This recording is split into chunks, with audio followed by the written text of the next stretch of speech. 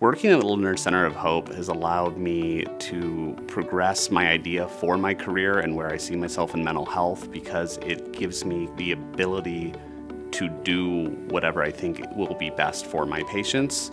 Um, and it has had all the resources and tools I've felt necessary for patient care.